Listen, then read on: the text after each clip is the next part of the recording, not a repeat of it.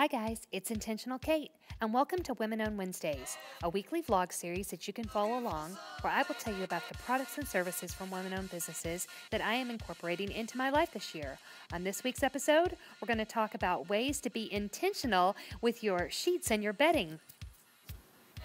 Let's start from the base and go up. You can buy mattresses or mattress pads from woman owned No Feathers Please, or a bed skirt from woman owned Bed Skirts Made Simple.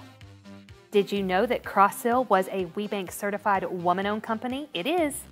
And for those of you that are Sam's Club members, you might have seen the woman owned logo on a lot of their private label sheets and bedding. And have you heard about the right pillow? This woman owned company guarantees a good night's sleep. But no bed is complete without some decorative throws or pillows. Try these kitschy items from Alexandra Ferguson and leave it to a woman owned business to come up with the idea for the pillow tower, a perfect place for your decorative pillows. And although there are quite a few linen sprays on the market, you might want to try this product from woman owned Amata.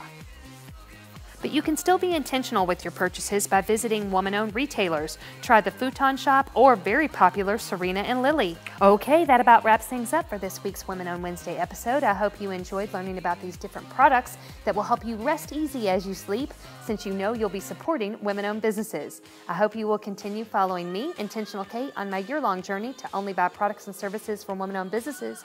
And I will see you next week. Bye.